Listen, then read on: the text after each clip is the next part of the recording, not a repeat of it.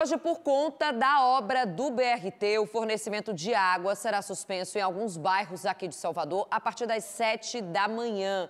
Já te digo agora quais são as regiões aí afetadas. Gabriel Nascimento vai trazer essas informações para a gente. Oi, Gabi.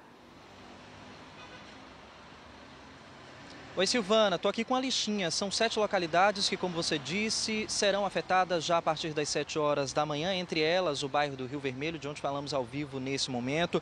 A lista conta também com a Chapada do Rio Vermelho, Cidade Jardim, Lucaia, Vale das Pedrinhas, parte do Horto Florestal e também a Avenida Anita Garibaldi. Segundo a Embasa, será uma intervenção de alta complexidade solicitada pela Prefeitura para que a obra do BRT possa avançar. Eles farão o remanejamento de uma rede ah, e isso deve ser concluído daqui para a madrugada de terça-feira. José Sena está mostrando aí a imagem desse momento da obra do BRT aqui nas mediações da Lucaia. Assim que o serviço for concluído, vai ser possível reiniciar o fornecimento, segundo a Embasa, mas o retorno é sempre gradativo, então é necessário economizar bastante nesse período, porque a partir da madrugada de amanhã, o serviço só deve ser normalizado em cerca de 48 horas. Por isso, a Embasa recomenda que os moradores reservem água e usem com economia nesse período. Agora, claro, estamos sob alerta do mosquito Aedes aegypti, a dengue, que tem tido números expressivos no nosso estado, então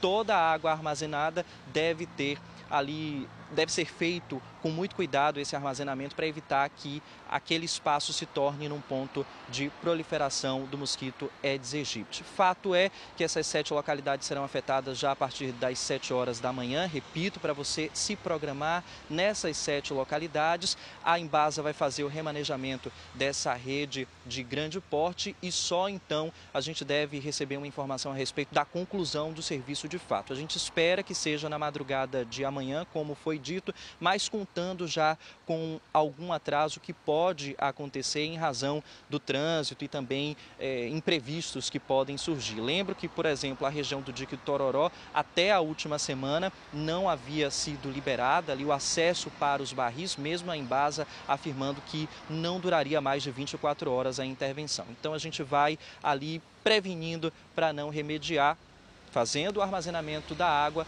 mas com bastante cuidado. Silvana.